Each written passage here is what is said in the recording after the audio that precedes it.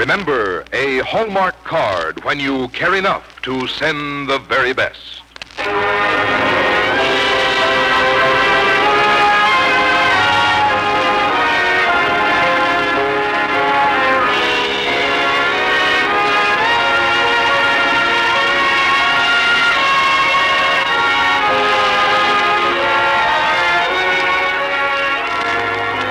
Tonight from Hollywood, the makers of Hallmark greeting cards bring you Ronald Reagan in Salad Days on the Hallmark Playhouse.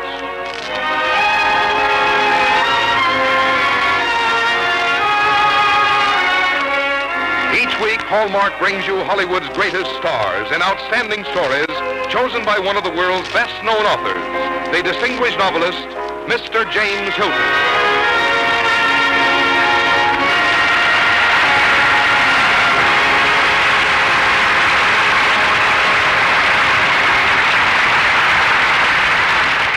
Ladies and gentlemen. This is James Hilton. Tonight on our Hallmark Playhouse, we present a dramatization of a book by Helen and Bellamy Partridge called Salad Days. Mr. Partridge takes his title from Shakespeare, one of whose characters talks of his salad days when he was green in judgment. This symbol of youth charmingly fits Mr. Partridge's recollections of his own youth, the trials and tribulations, and also the joys and sorrows and excitements of a boy going to an upstate New York college in the gay 90s. Those of us who are old enough, and also those of us who are young enough, will get the flavor, I think. And to star as the young Mr. Partridge, we have that fine actor, Ronald Reagan. And now here is Frank Goss from the makers of Hallmark cards. One of the particular joys of Christmas is sending and receiving Christmas cards. While the pleasure Christmas cards bring can never be measured, isn't it good to know that Hallmark cards are priced the same this year as they were last year, and the year before, and the year before that? And that the quality of Hallmark cards has constantly improved throughout the years. Yes, today, just as for many Christmas seasons, that hallmark on the back of your card is looked for and welcomed. It tells your friends you cared enough to send the very best. And now, Hallmark Playhouse, presenting Bellamy and Helen Partridge's Salad Days, starring Ronald Reagan.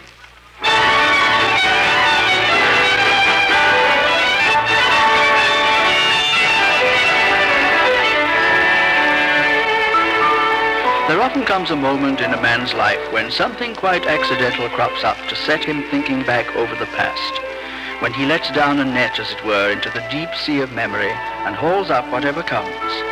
The important and the trivial, the sad and the happy, the serious and the funny. Just such a moment came to a lawyer named Bellamy Partridge when his young son jogged his elbow and made him put down the evening paper.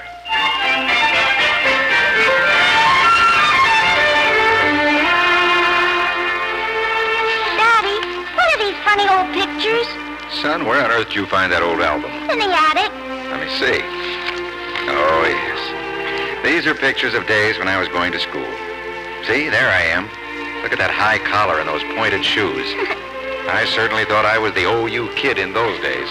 What's that building you're standing in front of? That's that old dormitory at Hobart College. That's where I lived when I was going to Hobart. Who's that funny-looking guy? That's Jim Chase. He was my roommate. He was a junior when I was a freshman. I can see Jim now running to the window and shouting, heads out. What did that mean? That meant the girls from the Delancey school were marching by. We'd all run to the window and hang out to watch them go by. Heads out. I can hear Jim saying it just as though I was still living those days. Heads out! Heads out! Heads out! There's my girl. See that dark-haired one with bangs? Who's the blonde one walking with her? You're not supposed to ask questions about girls, freshman. Why not? Freshmen aren't allowed to think about girls. I'd like to know how anyone's going to stop me from thinking about that one. Well, if you really want to know, that's Judge Dwinell's daughter, Judy. But it won't do you any good because half the upperclassmen in school are stuck on her. Do you know her? Sure, I've met her. She's my girlfriend's roommate. But don't ask me to introduce you. Upperclassmen do not introduce freshmen to girls. How do you meet a girl like that? You have to wangle an invitation to one of the teas they give at Delancey School. But freshmen can't wangle invitations. Well, maybe this freshman can. You're pretty fresh, freshman.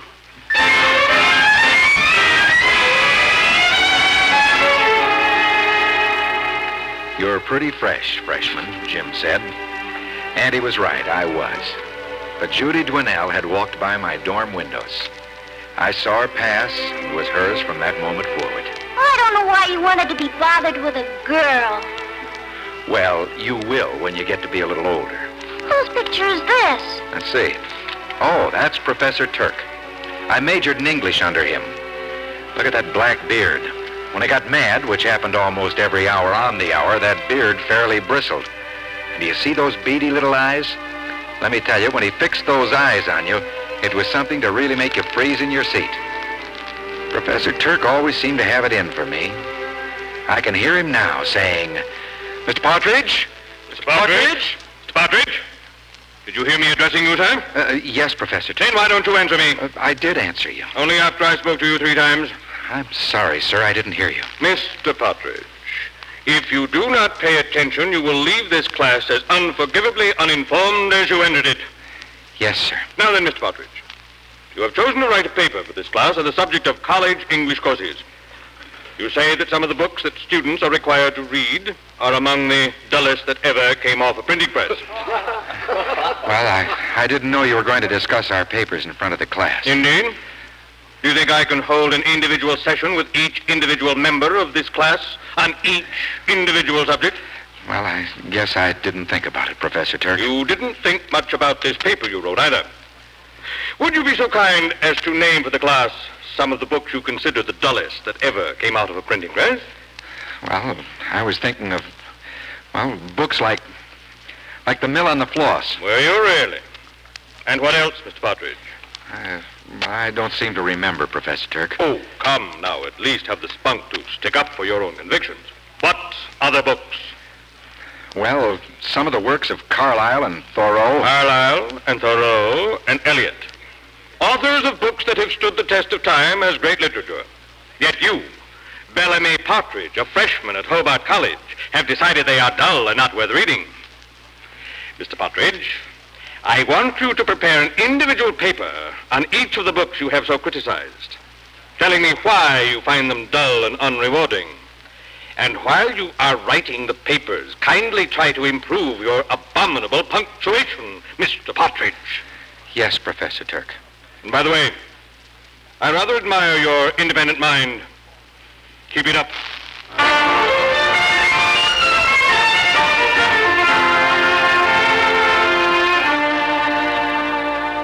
But Professor Turk continued to give me a bad time.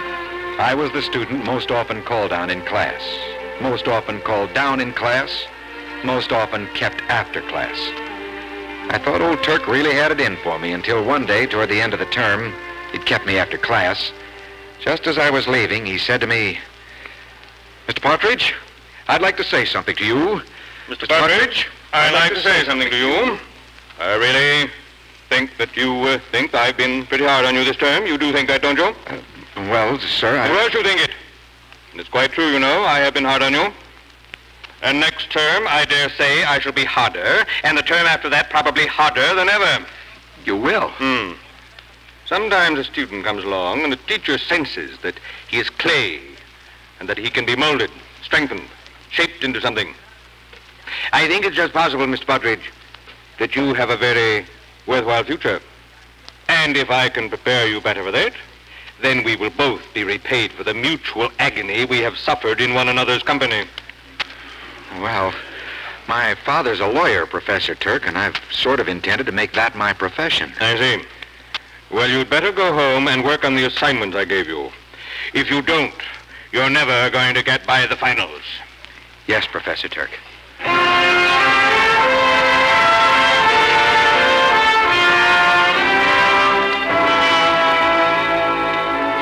Didn't Professor Turk care what you wanted to be, Daddy? He didn't think I had enough sense to know what I wanted to be. And maybe he was right. Who's that girl? That is Judy Dwinell. She was 17 when that picture was taken. You can see how pretty she was. I spent long months thinking and planning and plotting how to get to a tea at Delancey School. I got to a point where I couldn't work out of sheer frustration and desperation.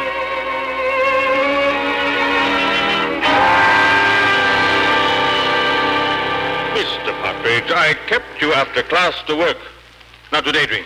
I'm sorry, Professor Turk. Oh, what on earth is wrong with you? You don't concentrate in class any longer. Your compositions don't show any thought. Something's wrong, and I want to know what it is. Well, it's very difficult to explain, sir. All right, my boy, out with it. Uh, you wouldn't understand. I, I couldn't possibly tell you. Oh, now it begins to dawn. have you had much appetite lately, Mr. Partridge? Very little, sir. And have you been sleeping at night? Not too well, sir. Mm-hmm. Hmm. Now, who is the young lady? I didn't say it was a young lady. My boy, the symptoms are all too obvious. Now, what is the problem? Well, the problem is I'm a freshman, and freshmen can't attend the teas at Delancey School, and I haven't even been able to meet her. Hmm, Well, now, uh, there are certain circumstances under which a freshman can attend a tea at Delancey School. There are? A freshman can go if he happens to be escorted by a member of the Hobart faculty. Well, I'm afraid that isn't much help. On the contrary, Mr. Partridge, I happen to be attending a tea at Delancey School next Friday, and I shall be delighted to have the pleasure of your company.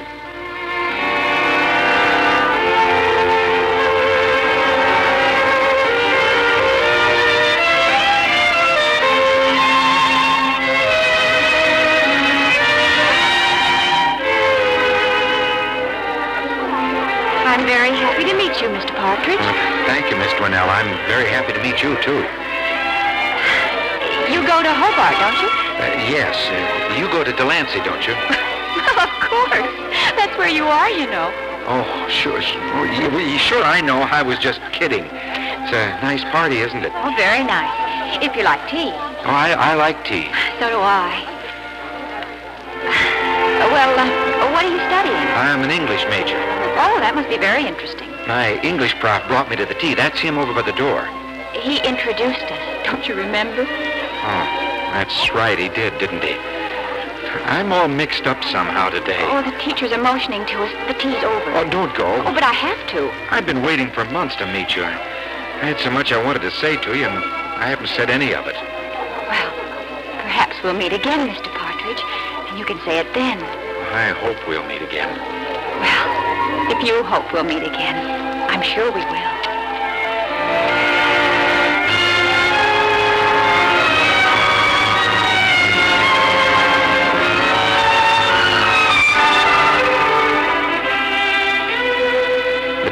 Days, the weeks, the months that followed have become, in memory, all set against the backdrop of Judy's smile, Judy's eyes, Judy's voice. I'm so glad you invited me to the freshman prom, Bellamy. I don't know when I've had such fun. Judy, will you come to all the dances with me? As long as I'm in college, will you be my date? You don't want to tie yourself up for the next three years, do you? Longer than that, Judy.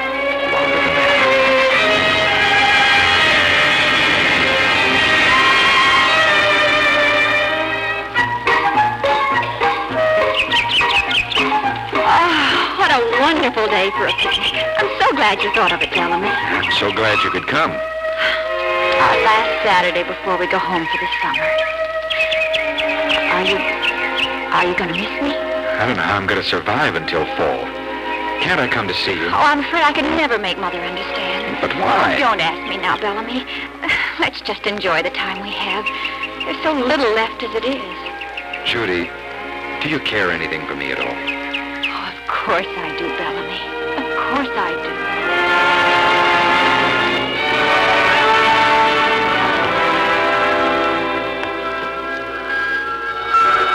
Bellamy, I must get on the train. It's all ready to pull out. Will you write to me this summer? Of course. Will you write to me? Every day. So will I. Judy, will you take my fraternity pin? Will you wear it? Yes, Bellamy. You know, that means we're engaged unofficially. Yes, Bellamy, but very unofficially. Oh, you can't get on the train now. I must. Goodbye, Bellamy. Goodbye.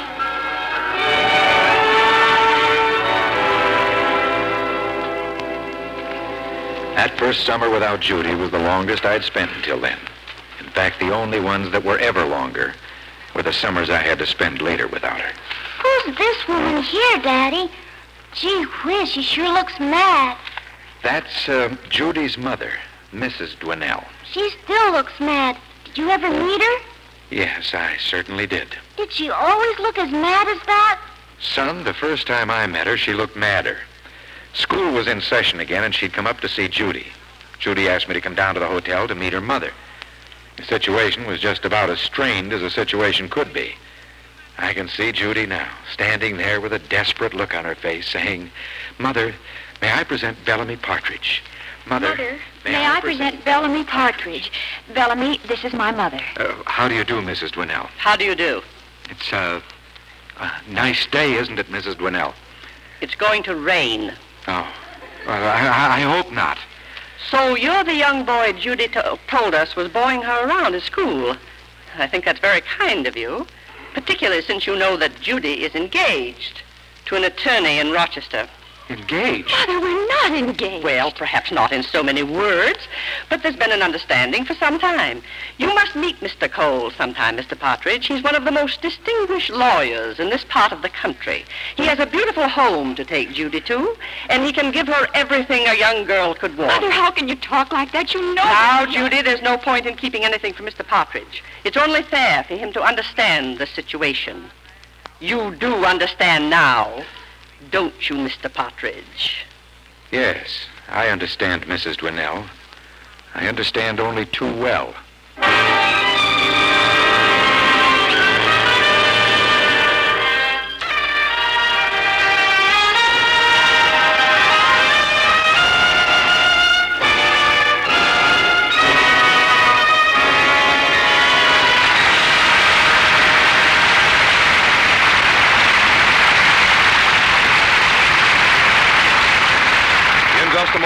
Return to the second act of Salad Days, starring Ronald Reagan. Have you seen the Hallmark Christmas card train? You'll see it in full color in the December issues of Holiday, Ladies' Home Journal, and Better Homes and Gardens. You'll see it at the fine stores where you buy Hallmark cards. And you'll certainly see it in the smartest homes this holiday season. In fact, when you see it, you'll want several for your own home and to send to your friends as your personal Christmas card. For besides being so colorful and gay, the Hallmark Christmas card train is the practical way to enjoy Christmas cards. You know how pleasant it is to have your cards all together so you can show them to the family and friends? Well, the Hallmark Christmas train holds up to 150 Christmas cards. It's six inches high and 38 inches long. The engine has peppermint candy striped wheels, and the gaily decorated cars following carry a Merry Christmas, Happy New Year greeting. When you're sending it as a combination, gift and greeting to your friends, there's a place on the bright red caboose for you to sign your name. Can you think of a nicer way to say Merry Christmas? And the Hallmark Christmas card train is so adaptable. You can place it on the mantel, curve it to make a centerpiece for your Christmas table, or station it under the tree to hold Santa's surprises on Christmas morning. And here's more good news. The Hallmark Christmas card train costs only $1, complete with mailing envelope. A gift that's all ready to go. Yes, you will surely want to see the Hallmark Christmas card train. It'll make a non-stop run straight to your holiday heart. Plan to see it tomorrow. Now back to James Hilton and the second act of Salad Days, starring Ronald Reagan.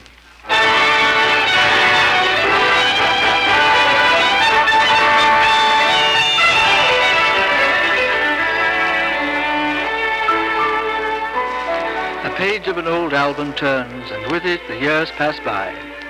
Bellamy Partridge knew he would have to struggle to get what he wanted, and so he did. He knew there was trouble ahead, and he was right. But when it all happened, like so many other things in a man's life, it wasn't much like anything he had ever expected.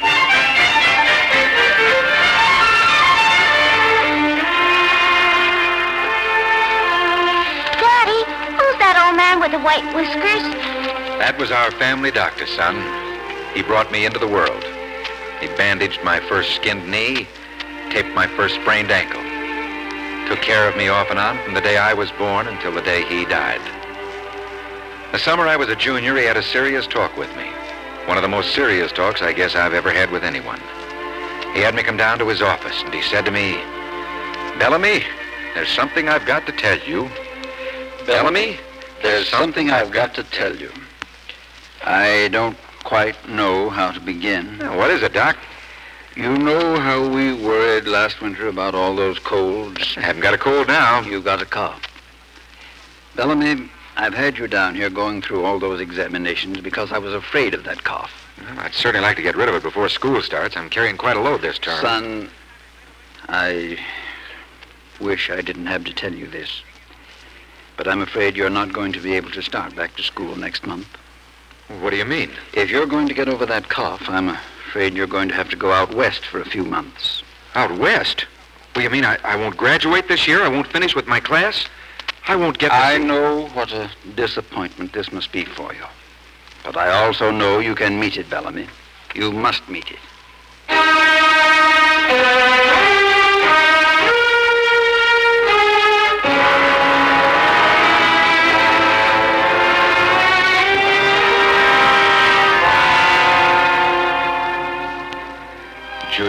Came to see you because this was something I just couldn't write to you. Oh, Bellamy, I'm so sorry. I'm so sorry. Well, the toughest thing to take is leaving you. I don't mind the rest so much, but leaving you, Judy. You know how I feel about you. You've known from the beginning, haven't you? Of course I have. Will you wait, Judy? Yes. I'll wait, Bellamy.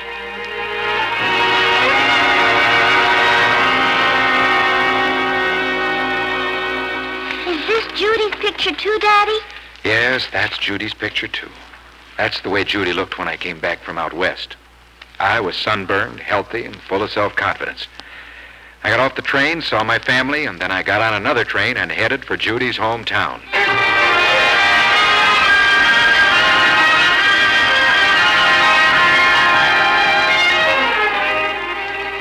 I walked straight up to the door and rang the bell. I didn't care whether her mother came to the door or not. I was no longer afraid of anyone or anything, except the possibility that Judy might have changed toward me. But the minute she opened the door and said my name, I knew. Bellamy. Oh, Bellamy.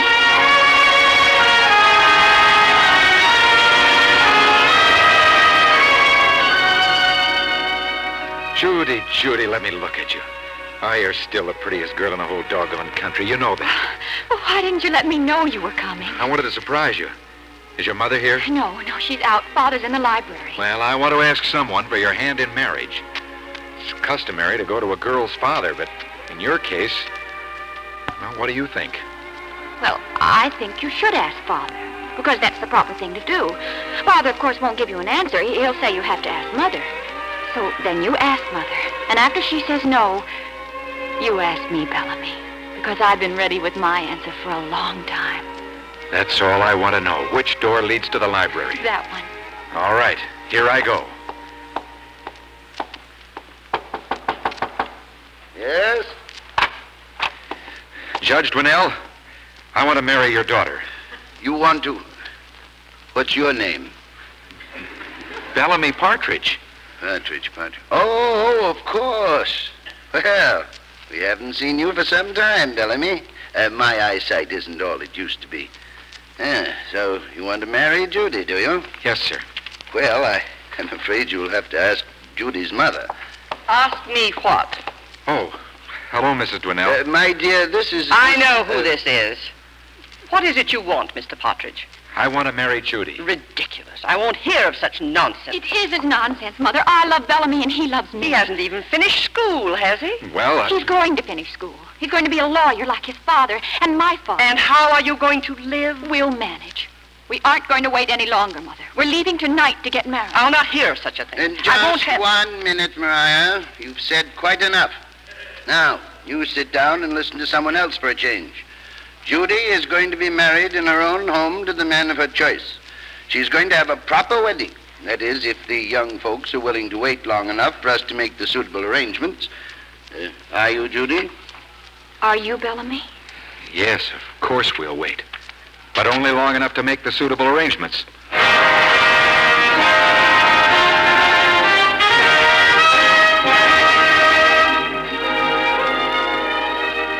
And that last picture in the album is the minister that married us. That was the beginning of my real happiness, the beginning of my life. That isn't the last picture in the album, Daddy. There's one more. Oh? So there is. Now, who do you suppose that is? Well, I don't know, but whoever it is should have some clothes on. That's you, my boy, at the tender age of four weeks. It is. Well, I don't think that was a very nice trick to take a picture of me like that. I think it's time this young man was in bed. What, what on earth are you doing with that old book of pictures? We were just going over the story of my life, and we'd come to the beginning of a very important chapter. What happens in it? Tell me, Daddy. No more tonight, my boy. It's bedtime. Well, Daddy, just one more question. Did you live happily ever after? Son, that's an ending for fairy stories, not for life. Life isn't that simple. But taking it all in all, I've had many more good times than bad ones. And throughout all that has happened, your mother's been with me, sharing the work and the fun. So the one thing I'm really certain of is this. The luckiest moment in all my life was when I met her.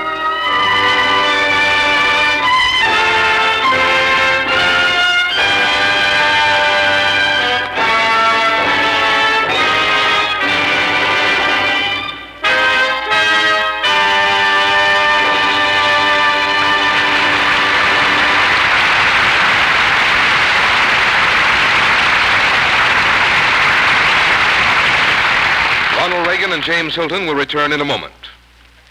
When you're buying that Hallmark Christmas card train, take a look at another bit of Christmas beauty Hallmark gift wrappings for your Christmas presents. Hallmark gift wrappings are completely coordinated. Select a basic color scheme, and you'll find there's matching paper, seals, and tags for your feminine gifts, your masculine gifts, and those wonderful gifts you'll be wrapping for the children.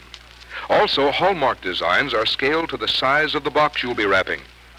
So if you'd like your gifts to be the ones everyone wants to open first on Christmas morning, select Hallmark gift wrappings. You'll find them at fine stores across the country. You'll know them by their beauty and by that familiar hallmark and crown you always look for on the back of cards when you care enough to send the very best. Here again is James Hilton. Thank you for being with us on the Hallmark Playhouse tonight, Ronnie. I expect your performance took many of our audience back to their own college days. It certainly brought back memories to me. Well, to me too, Jimmy. I always enjoy your Hallmark Playhouse stories. And by the way, you know those Hallmark Christmas card trains Frank Goss was talking about earlier tonight? Well, I think they're the best addition to holiday fun we've seen in a long time, and I'm so grateful for the one given to me tonight. You know, when I was a kid, I always wanted to be an engineer.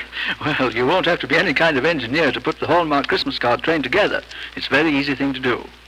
In fact, the whole idea is a delightful one. Well, it's made my visit doubly enjoyable. Now, what's your story for next week? Next week, we shall dramatize Marcella Tarrant's The Night of the Hayride, the story of how a lonely woman recaptured her lost life and found her happiness again. And as our star, we are delighted to have charming Loretta Young. Our Hallmark Playhouse is every Thursday. Our producer-director is Bill Gay. Our music is composed and conducted by David Rose. And our story tonight was adapted by Jean Holloway. Until next Thursday, then, this is James Hilton saying good night.